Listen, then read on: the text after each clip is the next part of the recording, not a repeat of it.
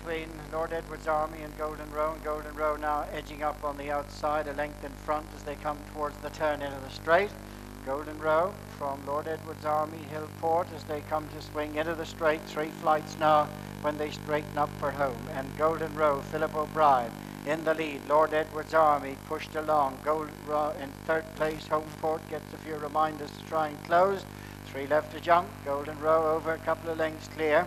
Travelling really smoothly in second is Lord Edward's Army, and they're clear of Hillport as they come down towards the second last. Golden Row in the lead, out in front of Lord Edward's Army, Homeport at the second last. Golden Row safely over.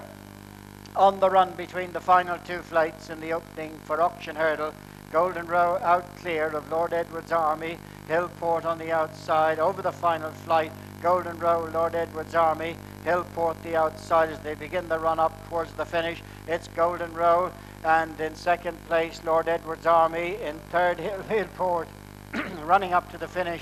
Golden Row and Philip O'Brien, three and four in front. Lord Edward's Army and Hillport battling away, but at the line, Golden Row wins it. Lord Edward's Army second, Hillport last of the three.